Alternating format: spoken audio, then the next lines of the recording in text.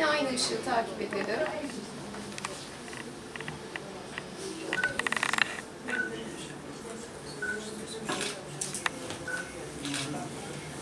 Kapatıp açın gözünüzü. Zeynep Hanım.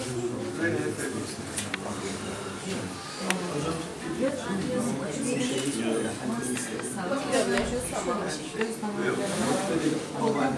Tamam.